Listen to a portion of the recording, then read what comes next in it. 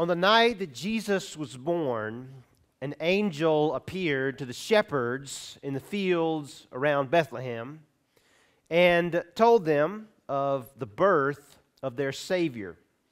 And after that de- message was delivered, it says that the sky lit up. And it wasn't just one angel, but it was thousands upon thousands of angels. And they were saying in a loud voice at the top of their supernatural lungs Glory to God in the highest, and on earth peace, goodwill toward men. At least that's how the King James language translates it. Glory to God in the highest, as if on, in heaven we are giving glory to God. We are giving glory to God in the highest place. And on earth, peace, goodwill toward men. Usually, this is interpreted as if we're going to glorify God in the high place in heaven, and on earth, you all show each other goodwill. You all get along, which is definitely not a bad thing, a bad um, word of advice, but we look at it kind of like, like the first part is a proclamation, the last part is an admonition, something we're supposed to do. And some of us look at Christmas as that way. But in fact, that last part is a proclamation too. It's not a declaration of goodwill from man to man, from one human being from another. It's a declaration of goodwill from God. If you look at it in the NIV translation, a more modern translation, the, the, K, the KJV doesn't exactly, um, while we're more familiar with it, we hear it more frequently. The NIV captures this perhaps in a, in a true way, more to the original Greek. It says, The angels were saying, Glory to God in the highest heaven, and on earth peace to those on whom his favor rests. Maybe we can see it a little bit more clearly there. The favor, the goodwill, is God's. It's God's favor. Peace to those on whom His favor, God's favor, rests. Now, I hope that uh, in your Christmas gatherings this year, many have their gatherings have already taken place, or some are traveling on the way now to those gatherings, or expecting to gather with family and friends in the coming days. And I hope that all of your gatherings are filled with nothing but goodwill. That there's all goodwill around your table as you celebrate holidays and Christmas uh, in the coming days. But I also know reality, okay? And re- in reality, we have personality clashes. There'll be people around the table that we don't necessarily like or get along with that well. There are things that have happened in the last year that have created tension in relationships. Perhaps there is grief around that table about relationships that are strained or are, have been lost in the last year or maybe it's even like bigger than that. Maybe it's about bigger issues, political issues, or social issues, or social behavior, or religious beliefs, or whatever it is that's creating tension in your relationships that boils over into tension in society. It seems that, like, while we hear tolerance preached to us more than ever, that we are less tolerant that we have ever been when it comes to people that don't agree with us or see things differently than us or that we just don't get along with them. I just would rather look at my phone than even have to deal with you right now. And I can do that. I can just like listen to who I want to and uh, not pay any attention, not to tolerate you at all. And is this message about Christmas? Is this deliverance of this message from the angel when we see what the angels are actually saying? Which this is kind of very revelationist. I mean, if you get this vision of myriads of angels saying a coherent message, it sounds like a little creepy to me. I don't know, I would be freaked out if I were to have that kind of vision to get the glimpse into the supernatural realm and to see uh, what's happening. Uh, is, is God the same way? Is God's favor the same way? Since this goodwill is from us to, or from God to us and not from like from man to man, from God to humanity, is is God picking favorites? Here's another translation of that, New, New Revised Standard Version. Here's the way they interpret it Glory to God in the highest heaven, and on earth peace among those whom he favors. Like, Peace if he likes you. Peace if you're in the good camp, okay? If, if God favors you, if he tolerates you, you'll get peace. Is that what this message is saying? Well, in truth, this is a very radical declaration.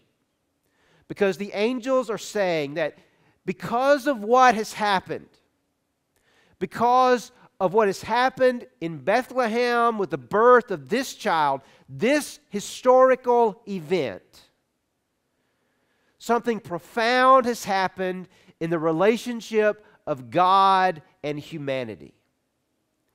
And that message could be also said look what God is willing to tolerate for your good. I mean, goodwill is to will someone's good. Look what God is willing to tolerate for you. Go to Bethlehem, you'll find him wrapped in swaddling clothes and lying in a donkey's feeding trough, a manger. Brush aside all the feces, and there will be the Son of God in the manger. What?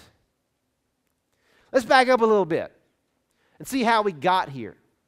When we talk about tolerating what we're willing to tolerate for God or for peace or what God is willing to tolerate for us. Let's go back to the beginning of this story in Matthew chapter 1. In Luke chapter 2, it tells us the story from the perspective of Mary and the Bethlehem story. It's, the, it's, it's a more detailed in Luke. Matthew kind of gives us a concise version uh, from Joseph's perspective. And he says uh, in verse 18 of chapter 1 this is how the birth of Jesus the Messiah came about. His mother Mary was pledged to be married to Joseph. She was engaged. Being pledged to be married to someone was something that happened at a very early age, probably like 10 years of age or younger. I mean, the, the marriages were arranged by parents. You didn't pick who you married. Some of you are like freaking out about that. Some of you, some of you are like, yeah, that's a great plan, especially if you're a parent. You might be thinking that. And, uh, and that's the way that they did it. It was all arranged. And so it was decided years in advance that Joseph would be her husband. But this is before they have been married. Perhaps Mary is in her early teens. But before they came together, she was found to be pregnant through the Holy Spirit before they came together, before they were married, before they had sex, she was pregnant. Whoa! Whoa! Automatically, there is a stigma. And while it doesn't say so, this reality that a girl pledged to be married is pregnant not by the one she is engaged to. To be pregnant would be bad enough. But she's pregnant not by Joseph. Now, um, I'm sure everyone in Nazareth believed the whole pregnant by the Holy Spirit bit, you know. And when Mary told him there's an angel, and he said it was just, I, I, just, it was a miracle. I'm sure they, our parents bought it, and their neighbors and all the town gossips in Nazareth which would have been a town smaller than Wetumpka, okay? We're talking only a few hundred people lived in the village of Nazareth. They didn't ha- have garages where you pulled your car, you shut the garage, you never saw your neighbors. No, they were very much intertwined. News traveled fast, okay? Word would have gotten out, but apparently they tried to keep it quiet because Joseph is going to kind of keep it quiet. Joseph doesn't buy it, okay? Joseph, her husband, was faithful to the law. And so he did not want to expose her to public disgrace. She's committed a crime that could be charged as adultery, effectively was adultery, and the penalty for adultery was death by stoning.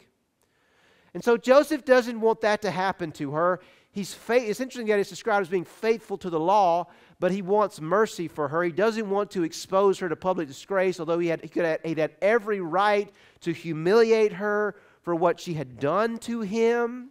I mean, you think about when someone hurts you, sometimes what's your natural reaction is to kind of humiliate them publicly, especially even, even if it's someone you care about deeply. And it says something about Joseph's character that he wouldn't do that, that he didn't want to do that. And so he had in mind to divorce her quietly. He's going to do his part to kind of keep this quiet, to protect Mary, even though it is apparent that she has done something very, very wrong and been unfaithful to him, when in truth, she hasn't done anything wrong.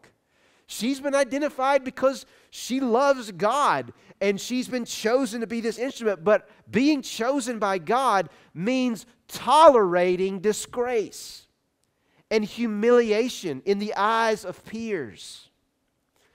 And so now that humiliation will not be Mary's alone it will also be Joseph's.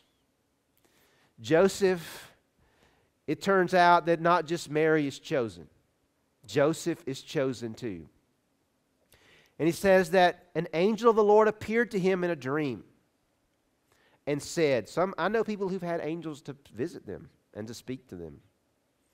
And uh, like they, you think they're crazy. You think, well, that's, they just imagine that. And they don't think so. Joseph had that kind of experience. He had a, an angel appeared to him in a dream and said, Joseph, son of David, do not be afraid to take Mary home as your wife, because what is conceived in her is from the Holy Spirit. The fact that Joseph is a descendant of David is significant because the Messiah was, would, would be a son of David, and so Joseph's lineage is important in all of this.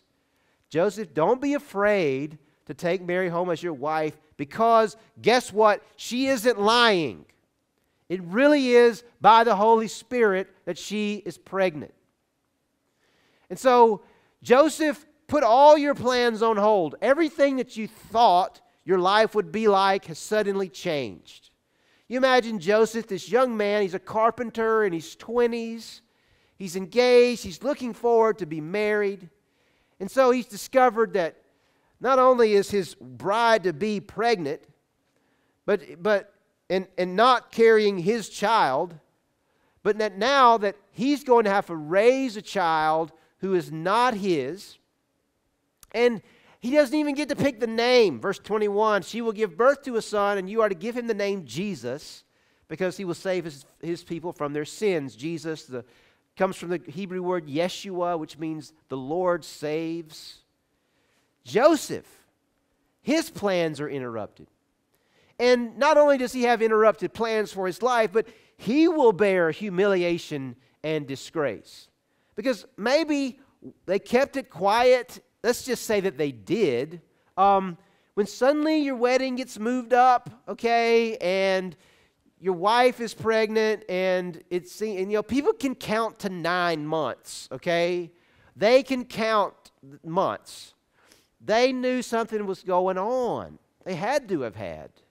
Word would have gotten out.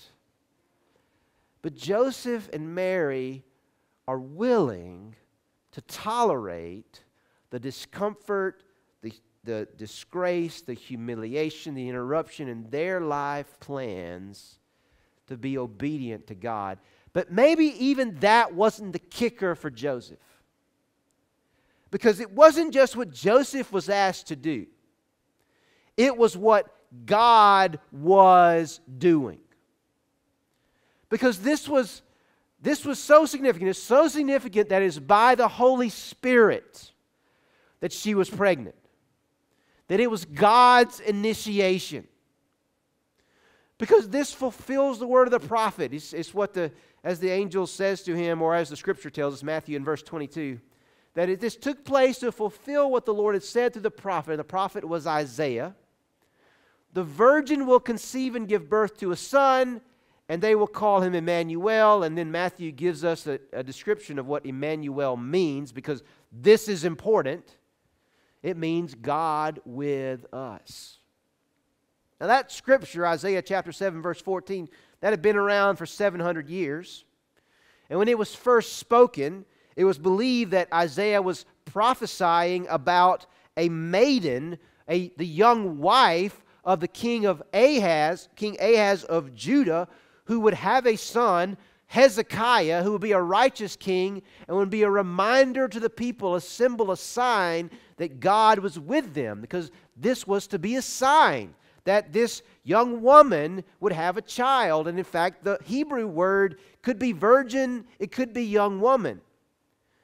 But the Christians who read this, and those who wrote Matthew's gospel, and everyone who came after Jesus, they recognized that this was speaking not just about Hezekiah, that it wasn't just about a young maiden, but that other interpretation, virgin, could apply, and not just a king to remind us of God's presence among us and to be a sign of God's presence, but to literally to literally be God with us.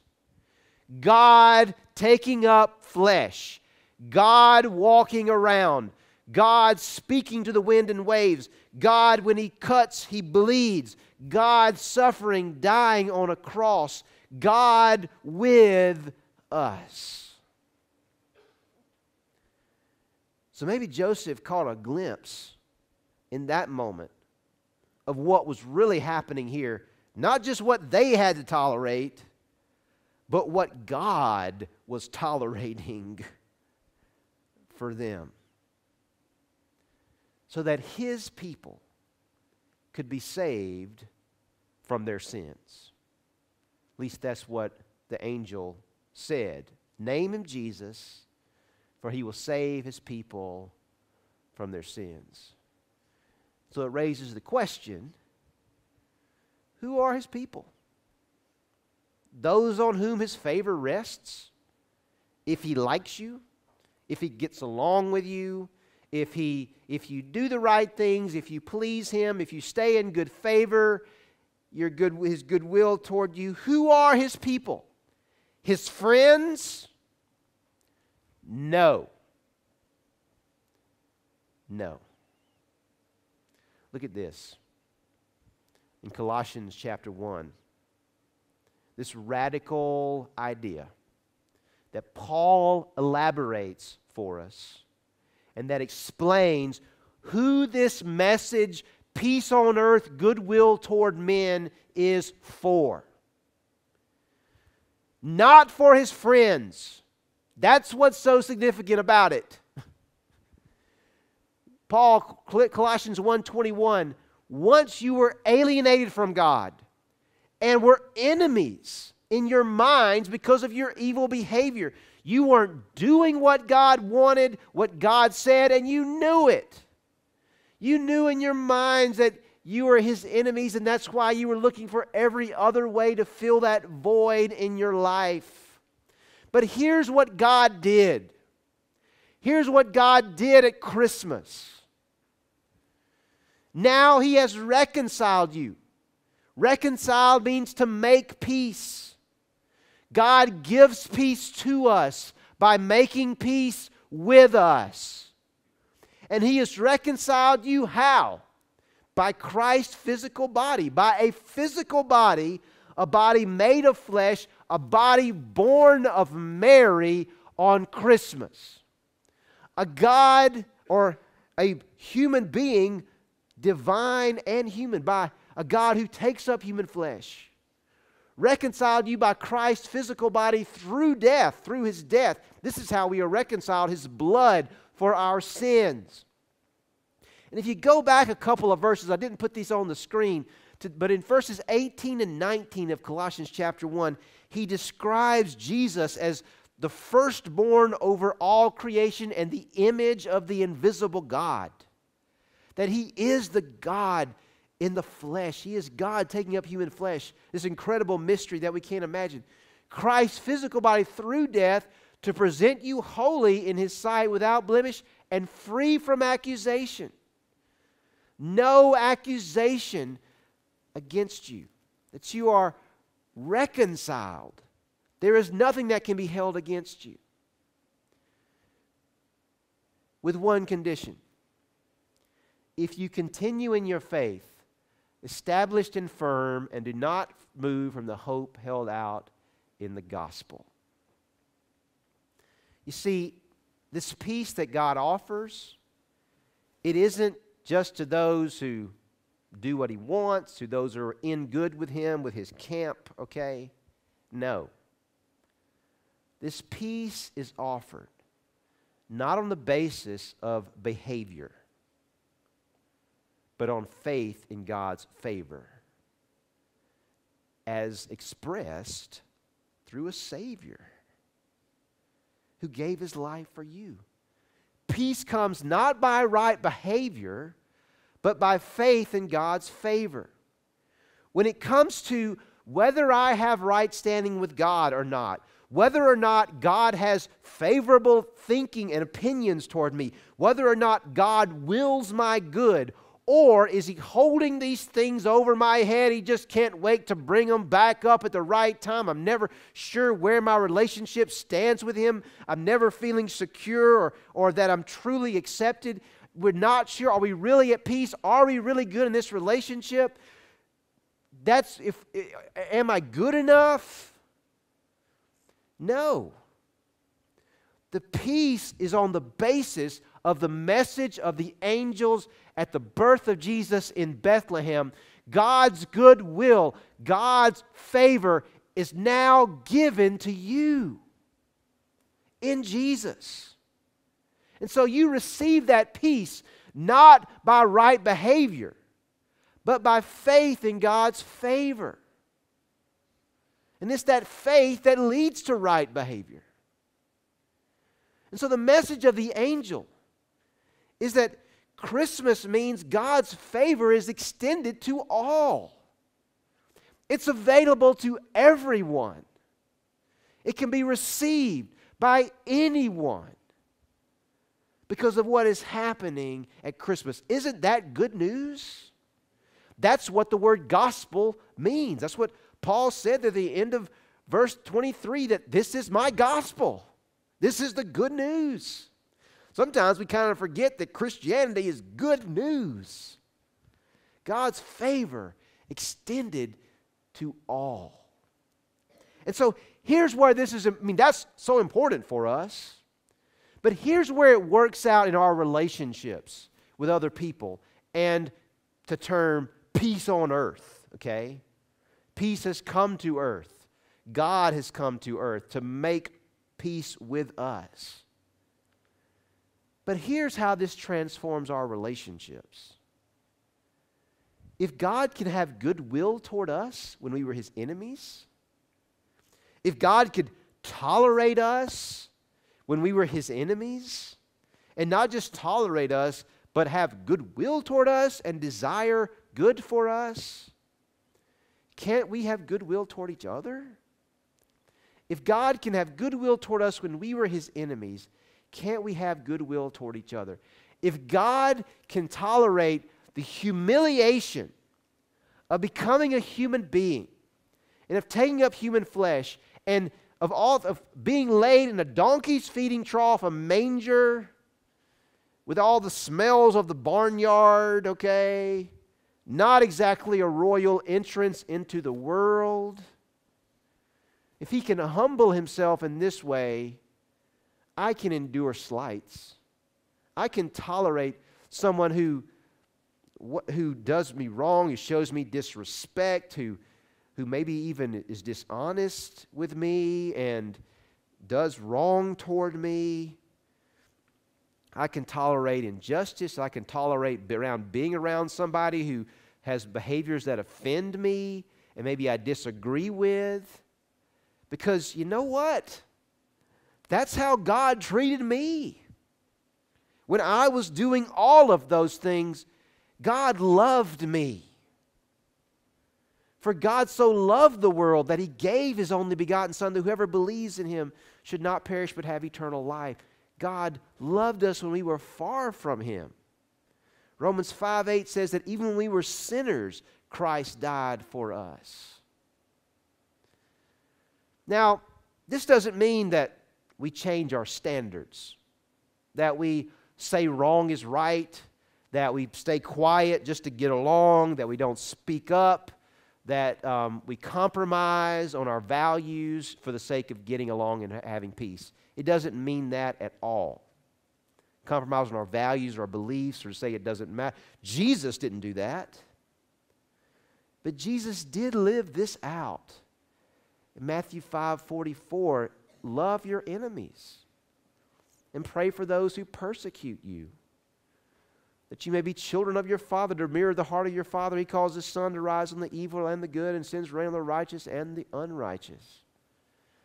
Goodwill, favor, even toward your enemies. That's because that's what God did and what God does every day. And that's why the heart of a peacemaker, someone who has found peace with God and now offers the peace of God, mirrors the heart of their heavenly Father. They are the children of God. They found peace with God. They've been reconciled with God. They're the prodigal son who's come home and been received in open arms by their heavenly Father. They are children of God and they reflect the heart of their Father. So, this is what God tolerated for you. He didn't lower his standards in terms of righteousness and holiness and right and wrong. He didn't compromise on his holiness. But he did lower his standards in terms of what he would tolerate, in terms of taking up human flesh, a God who fills all things, is all powerful, becoming a one cell. I mean, it started off as a one cell, the most fragile of all creation, and then a baby who can't feed himself, who can't control his bladder, depending upon a teenager for his daily sustenance and survival. A God becoming so vulnerable, humbling himself for us. See, God is a peacemaker.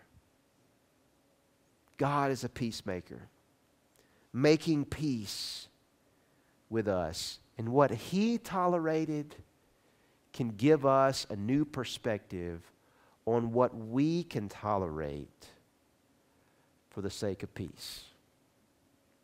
Again, not compromising, having to compromise your conviction, beliefs, or truth, but desiring the goodwill of those who might be perceived to be opposed or even enemies, that are your enemies. And so I wonder if it was that kind of a vision that this message is what struck Joseph to the core. Like when he considered the words of the angel and the words of the prophet that he would be God with us.